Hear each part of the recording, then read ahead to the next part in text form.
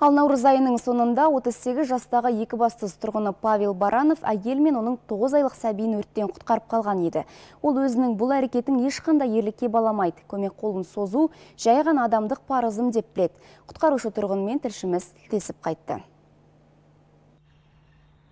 Павел баранов лихачев көшесімен келе жатып тұрғын үйдегі өртті көзі шалады көлігін дереу тоқтатып мән жайды білу үшін үйге жақындайды. Осылайша терезенің арғы жағында кішкентай сәбиін қолына ұстап тұрған әйелді көреді. Бұл уақытта жалын оларға жақындап та қалған еді. На секунду на две у нас опустились руки и мы думали что құтқарудың жалғыз жолы терезе сыртындағы темір торды бұзу еді. Бірақ ол өте қиынға соқты. Мүлдем бұза алмадық тек ғажайыпқа ғана сеніп дәрменсіз қалдық.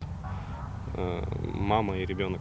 Сол уақытта тағы бірнеше адам келіп терезе торын бұзды. Жігіттердің біреуі терезе арқылы ішке кіргенімен түтінге шашалып ештеңе таба алмай кері қайтты. Сосын ішке кіруге павел бел байлады. Ну в общем в темноте когда привез қараңғылық ішінде алдымен баланың аяқтарын көзім шалды. Анасы бұл уақытта есінен де танып қалыпты. Баланы оның қолынан жұлып алып әйеліме бердім. Сосын басқа жігіттермен бірге әйелді сыртқа алып шықтық.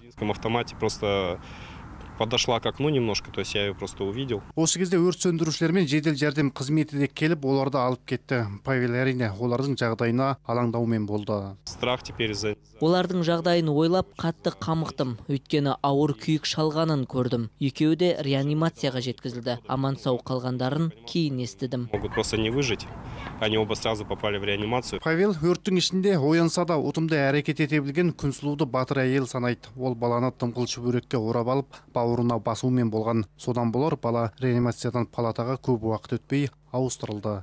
Жанасыл серікбол ермек сапаров айбек ғазиз ертіс ақпарат екібастұз қаласынан.